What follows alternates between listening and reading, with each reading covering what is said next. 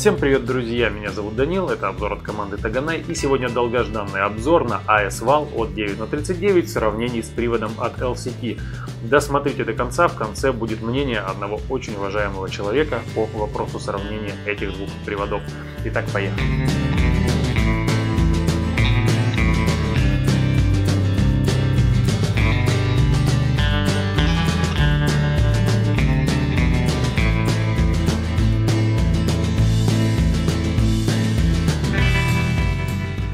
Я постараюсь не повторяться с тем, что рассказывал в обзоре сравнений винторезов от этих производителей. Если не видели, ознакомьтесь. Но ASVAL модель очень популярная. Делал я в свое время сравнение привода от LCT с приводом AY. И там основные недостатки LCT-шника перечислил. Но тем не менее сегодня, может быть, к некоторым из них вернусь. Итак, AS-вал или автомат специальный а, является логическим продолжением развития идей а, винторез, только вместо сплошного рамочного приклада а, здесь приклад был складной и ну, какие-то небольшие были конструктивные особенности, которые для страйкбольной реплики в принципе роли никакой не играют. AS-вал от компании 9 на 39 это седьмое поколение, версия полулюкс. Чем она отличается от серийной, коротко расскажу, но чуть позже. Итак, привод полностью абсолютно сделан сделан из стали. Магнитится у него абсолютно все, кроме цевья и рукояти, которые сделаны из пластика. Магазин также пластик. По поводу качества сборки. Нет люфта у ПБС, нет люфта у целика, нет люфта у шторки затвора, нет люфта у рукояти, нет люфта у магазина, нет люфта у приклада и нет люфта у цевья. Здесь люфтов нет в принципе вообще нигде. Я настолько крепкого, крепко сбитого автомата не видел давно. Просто шикарно. По качеству покраски. Здесь, ну, можно сказать, небольшое слабое место 9 на 39. Покраска фосфатный лак, здесь все антуражно, но держится она не супер прочно, то есть где трение металла по металлу, она будет сдираться пластик или там какие-то кирпичи, бетон, в принципе, особо это покрытие не царапают. Но, тем не менее, привод при эксплуатации достаточно быстро у вас придется так называемый антуражный внешний вид. На самом деле, если вы видели боевые AS-вал, они тоже достаточно быстро теряют свою краску. Я уж не буду сравнивать, насколько это одинаково быстро происходит, но тем не менее они выглядят всегда тоже потертыми. Так что здесь ничего страшного, но покрытие не самое стойкое. Привод от LCT это всенародный любимец. Сделан он точно так же из стали. У него магнитятся абсолютно все детальки, за исключением, опять же, цевья, рукояти и магазина. А, по качеству сборки все тоже, в принципе, неплохо. Нет люфта у ПБС. Ну, болтается немножко целик. Ну вот у магазина есть люфт. Небольшой люфт есть у рукояти и небольшой люфт, кстати, у приклада. Вот. В остальном все сбито весьма хорошо. Плюс здесь очень стойкое покрытие. Правда, это воронение, что абсолютно неверно. Боевые АС-вал вороненными никогда не были. Все они были крашенными, как период от 9 на 39. Но зато это воронение, э, во-первых, выглядит неплохо, пусть и не совсем антуражно. Во-вторых, держится очень стойко. Чтобы его содрать, придется постараться. Привод от LCT обладает рядом конструктивных недоработок, которые, на мой взгляд, очень сильно портят впечатление от этой модели. Первое, на что я обращу внимание, это невозможность отрегулировать хоп-ап через окошко выбрасывателя. Вы просто не имеете здесь к нему доступа. Для того, чтобы хоп-ап отрегулировать, вам придется снимать крышку ствольной коробки, что крайне неудобно в условиях боя. Вторая недоработка – это то, как выведена проводка в ПБС. Здесь эту проблему владелец уже решил. Он проводку вообще вывел в приклад, в специальный подсумок, чтобы улучшить еще и баланс привода. Про него я скажу чуть дальше. Так вот, проводка в оригинале выводится в ПБС. Чтобы ПБС снять, вы нажимаете на кнопку и поворачиваете этот самый глушитель. А, если вы повернете его по часовой стрелке, вы порвете проводку. Просто перекусите ее. Поворачивать надо против часовой 90 градусов. И только так вы сможете снять ПБС, не повредив проводку. Одна ошибка и провода вы перекусили. На мой взгляд, очень корявое решение, при том, что, например, и у НПУ АЕК, и у 9 на 39 эта проблема решена элементарно. Следующая недоработка LCT – это слишком высокая крышка ствольной коробки, которая на сантиметр выше, чем у боевого, из-за чего сюда никогда не установится ни один из прицелов семейства ПСО, что, конечно же, очень печально, особенно для владельцев оригиналов этого прицела. Но, тем не менее, чтобы поставить такой прицел на LCT, придется либо стачивать э, лампочку подсветки, либо использовать специальные переходники. Следующая конструктивная недоработка LCT, на мой взгляд, самая серьезная, это его чрезмерный вес и отвратительный баланс. Дело в том, что привод весит с аккумулятором и магазином аж 3,5 кг, что на целый килограмм тяжелее, чем боевой AS-вал. Плюс у привода очень сильно смещен баланс в сторону глушителя. Когда в глушителе еще и аккумулятор расположен, он просто клюет носом невероятно сильно. Удерживать этот привод в руках неприятно. Для этого требуется достаточно большая физическая сила. И это совершенно никакого отношения не имеет к настоящему айсвал, который был всегда легким, изящным, удобным оружием. Это оружие для спецподразделений. Там не может быть вот такого куска стали. Это, конечно, очень и очень печально, неудобно и не копийно. А вот привод от 9 на 39 по вопросам веса и баланса является, на мой взгляд, эталоном, потому что он сбалансирован шикарно. Очень легкий, весит неснаряженный ровно 2,5 килограмма. Наглушитель не заваливается абсолютно, даже когда там расположен аккумулятор. Это пример для подражания, и именно этот привод лучшим образом передает дух и э, ощущение от боевого АС-вал. У привода от 9 на 39 тоже есть определенные ну, конструктивные недостатки, недоработки. Они не настолько фатальны, как у LCT, но умолчать о них тоже было бы неприлично. Hop-up здесь регулируется отлично через окошко выбрасывателя. С этим все круто. Из недостатков могу сказать неудобное отмыкание ПБС. Дело в том, что здесь он зафиксирован винтом, который прячется под прицельной планкой. Соответственно, чтобы ПБС снять и заменить, например, аккумулятор, надо будет отверткой этот винт выкручивать. Соответственно, на игры придется с собой отвертку брать. Другое дело, что при съемке ПБС вы никогда не повредите проводку, потому что она находится внутри и там очень надежно спрятана. Ей ничего не грозит. Также небольшим недостатком могу назвать работу переводчиков режимов огня. Дело в том, что в режиме одиночного огня он находится под углом 90 градусов к оси спускового крючка. И когда вы к спуску тянетесь пальцем, вы этим пальцем частично задеваете переводчик режимов огня, его угол. И хотя он сглаженный, совсем не острый, но все равно это не очень приятно. Плюс в положении автоматического огня он находится, наоборот, абсолютно параллельно оси спуска, и его ну, без сноровки определенной не всегда удается из этого положения переключить на одиночный режим быстро. То есть он прячется за спусковой скобой. Это мелочи на самом деле, потому что работает переводчик очень надежно. Как вы слышите, достаточно четкая есть фиксация крайних положениях. То есть это больше уже придирки. Но тем не менее я вот на это внимание обратил. Далее, если уж совсем придираться, можно упомянуть также про пластик. Вроде как не самый он прочный у 9 на 39.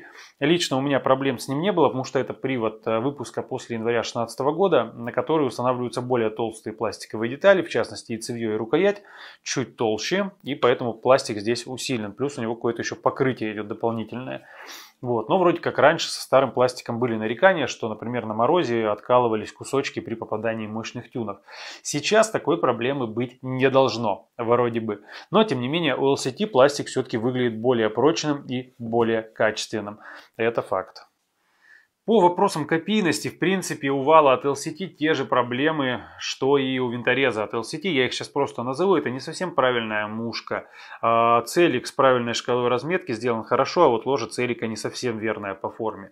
Внешний вид и фактура цевья. Вы можете заметить, что у LCT цевье более шершавое, да и фактура цевья сделана как будто бы лучше. Но на самом деле тоже она не идеальна.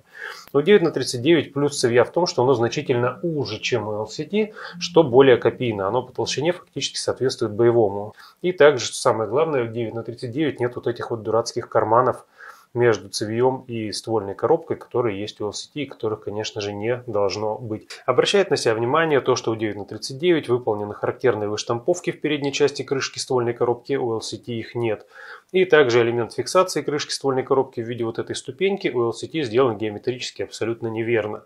Также неправильно у LCT сделан рычаг взведения, который взят от АК серии, у 9 на 39 рычаг взведения правильный. И также у 9 на 39 маркировки в правильном месте, у боевых автоматов правда, идет литера РХ, здесь ТХ. Вот. Ну, в LCT маркировок никаких не видно вообще. Флажок предохранителя у обоих приводов реализован похоже. Единственное, что в LCT отсутствует характерная вот эта выемка в корпусе у стопорной ступеньки, которую делает 9 на 39. Только ленивый не пнул LCT за неправильный абсолютный вид кнопки фиксации крышки ствольной коробки. У 9 на 39 кнопочка правильная, она подпружиненная. Вот, функциональная. Но это особенность уже полулюкс версии, то есть на серийных образцах кнопка без пружинки, но выглядит точно так же. Я не буду касаться всех геометрических точностей и размеров, я это все уже рассказывал касательно привода VSS винторез, но чисто визуально мы видим, что не совсем правильно в LCT сделана антапка передняя. Абсолютно неправильно сделаны кронштейны под оптику, которые являются одной сплошной деталью, в то время как у 9 на 39 это две отдельных детальки. Неправильно сделан рычаг отмыкания магазина, абсолютно неправильный спусковой крючок пластиковый, который взят от третьего гербокса. Подчеркну, что у привода 9 на 39 установлен металлический спусковой крючок, являющийся точной копией боевого. Переводчик режимов огня, что у 9 на 39, что у LCT сделан не идеально. У 9 на 39 я про его недостатки уже сказал. У LCT его главный косяк в том, что он как будто бы перевернут вверх ногами. То есть на самом деле он должен быть наоборот сделан. Рукоять у LCT более угловатая и толстая, чем у 9 на 39. У 9 на 39 рукоять скругленная, удерживать ее гораздо приятнее и она чуть уже. Приклад LCT обладает рядом принципиальных недостатков. Первое – это его микроскопические размеры он значительно меньше, чем у 9 на 39. Во-вторых, кнопка фиксации сложенного приклада у LCT квадратная, а у 9 на 39 круглая, как у боевого. И, наконец, затыльник приклада, который у LCT, во-первых, очень маленький, во-вторых, абсолютно прямой. У 9 на 39 сделан с характерным изгибом и по размерам гораздо ближе к боевому. Поэтому с точки зрения копийности привода 9 на 39 к боевому, конечно же, гораздо несравнимо ближе, чем LCT. И фактически сейчас единственное, что э, не совсем копийно выглядит, это переводчики режимов огня. Все остальное сделано просто очень-очень похоже. Ну, может быть, еще рычаг отмыкания магазина у боевого чуть более изогнут. Прицел ПСУ 1М201, предназначенный для ВСС, без проблем устанавливается на АС вала 9 на 39 39. А вот ПСО-1, предназначенный для СВД, на этот привод не установится, потому что будет мешать лампочка подсветки. Часто спрашивают меня, чем отличается серийная версия от люкс-версии, а тут так вообще взрыв мозга, потому что это версия полулюкс. Но на самом деле все просто. Люксовый AS-вал – это версия, на которой путем доведения мельчайшей деталировки, это имитация фрезеровки, нанесение клеем, э, создание каких-то мельчайших выштамповок и скругление и обработка отдельных деталей – Страйкбольный вал приводится к внешнему виду по мельчайшей деталировке, максимально соответствующему боевому. Естественно, эти все мелочи оценят только те, кто реальный боевой вал в руках держал и знает, что где должно быть. Делается все это вручную, поэтому люкс-версия стоит очень дорого и делается очень долго. При этом то, что заметно невооруженному глазу у люкс-версии – это наличие изгиба на затыльнике приклада, подпружиненная кнопка крышки ствольной коробки, наличие выштамповок в передней части крышки ствольной коробки, наличие вот такой вот прямоугольного вдавления на нижней трубке приклада и наличие заводского клейма. И именно эти заметные глазу изменения нанесены на полулюкс-версию. То есть полулюкс-версия это серийный AS-вал, на котором реализованы самые заметные, самые значимые фишки от люкс-версии. Всего остального здесь нет, вот всей этой имитации фрезеровки, скругления и прочих мелочей здесь вы не увидите. Но и стоит такой вариант значительно дешевле. Вот что такое полулюкс, вот что такое люкс. Серийный AS-вал по балансу, по копийности, за исключением вот тех моментов, которые я перечислил, от привода вот этого не отличается ничем. Приводы от 9 на 39 комплектуются стандартным цимовским гербоксом со 120 пружиной и легендарным черным моторчиком. А ствол длиной 433 мм, 6,03 толщиной. По-моему, сейчас идет ZK Airsoft производства. А в чем плюс? Проводится на производстве шиминг, проводится проверка компрессии и, как правило, вся продукция на выходе имеет выхлоп от 135 до 140 метров в секунду что, естественно, приятно при 120 пружине, это говорит именно о наличии хорошей компрессии. AS-вал от LCT э, выпускается в двух сейчас версиях, э, которые отличаются именно начинкой. В обеих версиях установлен э, обычный гербокс от LCT АК типа третьей версии, но в версии UP, то есть улучшенная, апгрейченная, стоит, по-моему, стальная направляющая пружины и еще там какие-то мелочи. То есть, ну, большой сильно разницы нет, но, по крайней мере, в такой привод можно уже втыкать 130 пружину. LCT использует магазины собственного производства механические, они выполнены в коричневом, либо в черном пластике, в черном пластике почему-то дороже, как правило. Сидят магазины всегда с небольшим люфтом, то есть все магазины в этом приводе обладают люфтом, как продольным, так и поперечным, что, конечно же, неприятно, но проблем с подачей при этом абсолютно никаких нет. Ну, вы видите.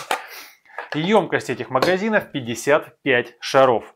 А сейчас, правда, LCT выпустили версию на 100 шаров, правда, стоит она в два раза дороже. То есть, если вот эти вот магазины маленькой емкости стоят порядка 500 рублей, ну, от 500 до 600 и далее, то емкостью 100 а, шаров они стоят больше 1000 рублей.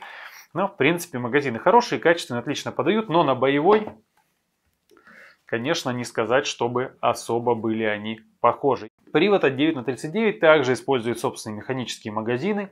Начиная с седьмого поколения, механические магазины от 9 на 39 являются точной копией боевого магазина. Фактически вот эти отливки сделаны с корпусов боевых магазинов, поэтому отличий вы не найдете, даже если будете их искать.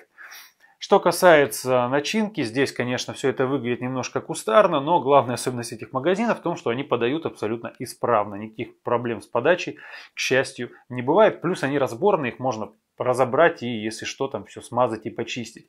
Емкость таких магазинов порядка 65-70 шаров. А стоят они тоже где-то 1100 рублей. Но, по крайней мере, обладают очень крутой копийностью и, что приятно, родные магазины в приводе от 9 на 39 люфтом не обладают вообще. И да, раньше была проблема, что магазины от 9 на 39 при всей их крутой копийности, так как их выпускается не очень много, нельзя было просто заказать эти магазины и получить их там через два дня 10 штук. Их надо было также ждать, причем иногда ждать достаточно долго. Но, к счастью, эта проблема была решена очень просто – Привод от 9 на 39 седьмого поколения. То есть седьмое поколение это то, что выпускается после января 2016 года. Магазин от LCT. Люфт даже меньше, чем в приводе от LCT. Вот вам пример. С подачей также проблем не замечено. То есть продукция 9 на 39 сейчас вся новая на 100% совместима с механическими магазинами от LCT. И ни для кого не секрет, да, что я Поклонник продукции 9 на 39, она мне нравится. В частности, этот вал, это мой вал, я купил его себе и уже играл с ним несколько игр, кстати, отлично поиграл. И, э, возможно, Возможно, я действительно предвзят и субъективен и закрываю глаза на недостатки этой продукции. По крайней мере, многие, очень многие меня в этом обвиняют. Поэтому сегодня мы обратимся к независимому эксперту, очень известному и уважаемому, который поможет нам разобраться, действительно ли продукция 9 на 39 так хороша, насколько я это расписываю. Поэтому сейчас посредством телепортации, ну, а точнее монтажа, мы перенесемся в другой город.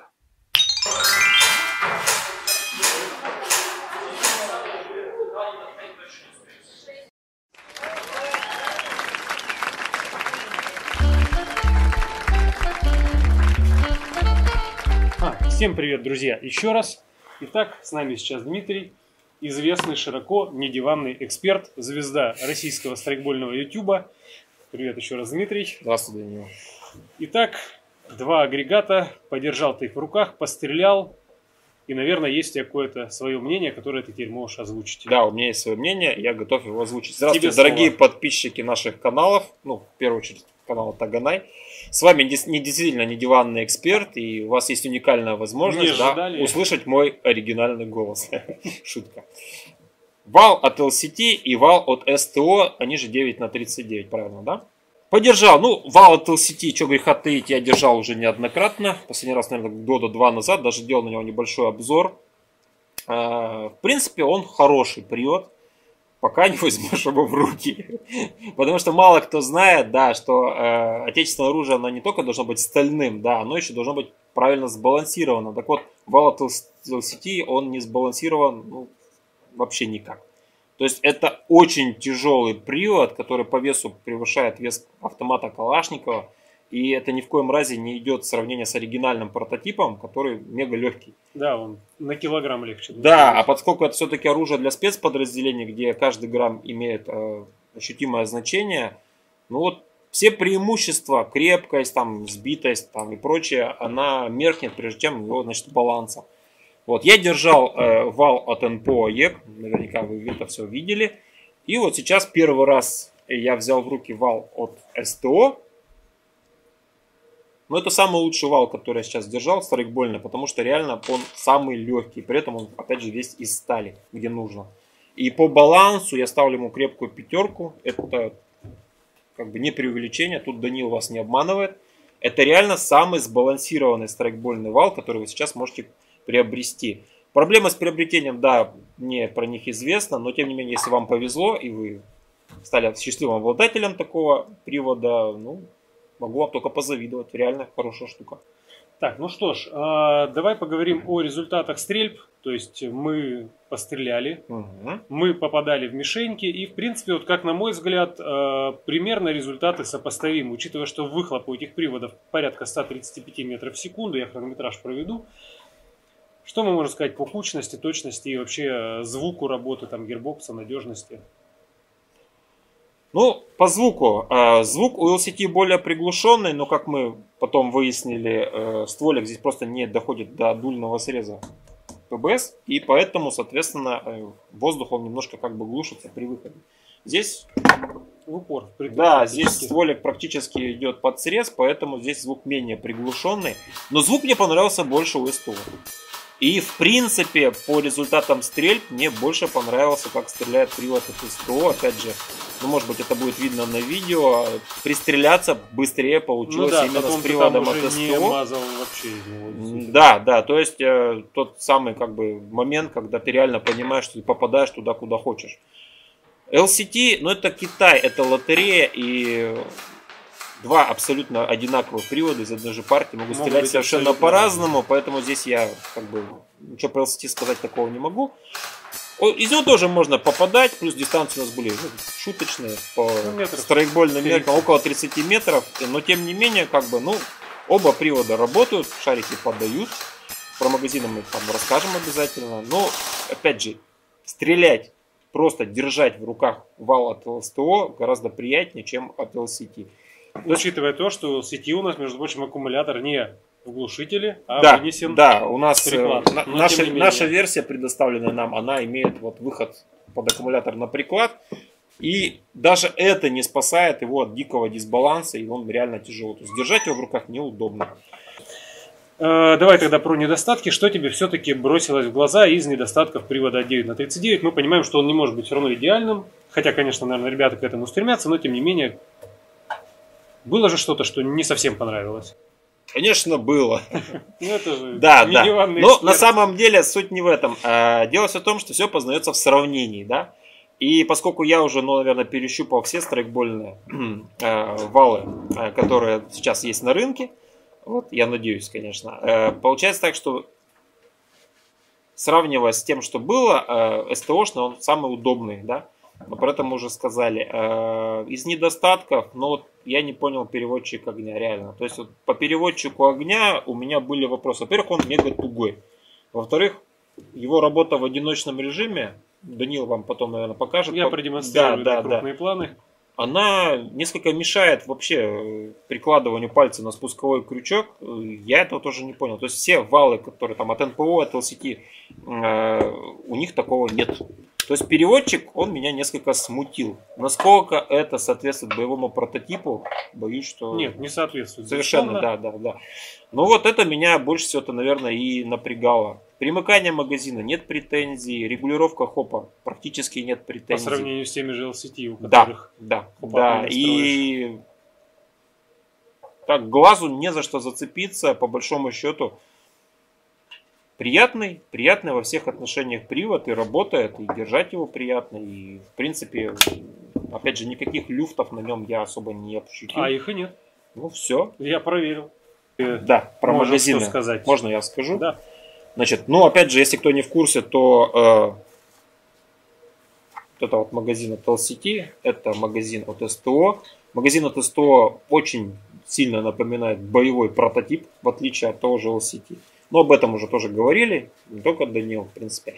И, и этот и этот магазин подходит к СТО, они тоже поддают, хотя вот к LCT у меня были, ну, может быть, просто показалось, но есть небольшие нарекания с подачей. Он защелкивается прикольно, вот примыкать его достаточно как-то вот да, приятно, да, потому что он это делает с щелчком. Да, то есть там такой прямо звук сочный. Да, вот вот так. Нет. Ну, это тоже мы сейчас, да, вот. То есть, беда в том, что по щелчку нельзя определить, примкнулся он или нет, но щелкает он забавно. В отличие от магазина от СТО, Вот. Он это делает э, качественнее, но менее шумно. Зато люфтов вообще нет установлено. Вот скип, по немножко есть. Небольшой люфт это нормально. Ну, ну, даже больше. Да, то есть родной магазин, он здесь люфтит гораздо больше, так что это совершенно не показатель. Главное подача, подача нормальная. Ну что ж, э, давай резюмировать как-то. Ну, возвращаясь к началу разговора, да, продукты разнонишевые, потому что все равно и начинка у них разная. Ну, LCT она своя, здесь... Э, ну, здесь цимовский стоит гербокс. Да, обычно. то есть сюда ставят цимовские гербоксы, опять же, ну, цима этого, скажем так, поколения, она очень сильно отличается от того, что было там несколько лет назад. Тем более легендарный черный моторчик, да, кто в... за ними охотится. Нет, просто в отличие от мнения других э, обзорщиков, все-таки хорошее может стоить дешево. Вот просто надо как-то следить за тенденциями и за рынком. Вот. Э, работает, работает. Сколько ты с ним уже играешь? А, нет, с валом я играю недолго, он мне пришел в октябре. Ну, то есть, пока вот. мы его еще не сильно испытывали в бою. Нет, ну я играл, ездил с ним на игры, кстати, мне с ним фартило на играх очень хорошо, но отзыв именно длительной эксплуатации я сделать не могу. Я могу про винторез, с которым я уже почти полтора года Ну, понятно, бегаю. нет, тут, тут с цимой ситуация банально до безобразия. Если оно не сломалось первые там 2-3 дня, то, оно, то скорее всего, оно прослужит дольше, да, потому что как бы э, в этом-то все китайское, оно и отличается. Резюмируя, я себе если бы я был фанатом этой серии, конечно бы все-таки э, выбрал вал от СТО, потому что ну, он мне очень понравился. Вот. Просто я не фанат именно такого форм-фактора, но, опять же, вот Даниил, он не обманывает вас, он реально как бы объясняет, что это один из самых лучших вообще, в принципе, вариантов отечественного страйкбольного оружия. И, в принципе, конечно, ну, курс, курс доллара несколько э, сблизил эти два да, варианта. Да, то есть LCT он подорожал из-за курса. Цена на S100 практически не изменилась. Они ее до сих пор еще держат на уровне, ну, в силу некоторых определенных обстоятельств. Поэтому, если вы фанат именно ну, отечественной серии, хотите, чтобы э, баланс был такой же, как на боевом, и при этом это был бы АЕК, а не ГББ, соответственно, конечно, это СТО. Если вам все равно, если вы любите качать руки, да, вот, и делать это посредством страйкбола, то, конечно, тогда можно взять LCT, потому что это отличный тренажер. Кетлер, да. Латура будет. Да, вы накачаете руки, и после того, как вы потом возьмете вал от 100, он не будет весить ничего. Это вот резюме. А так, ну, оба нормальных продукта и оба рабочих. Ладно, Дима, большое спасибо за консультацию. Тебе большое спасибо, что приехал. За тир которым мы с удовольствием постреляли. Ну что ж, до новых встреч. И не забывайте подписываться и ставить лайки. Да, на канал Таганай и на канал Не диванный эксперт. Всем пока. Скоро увидимся.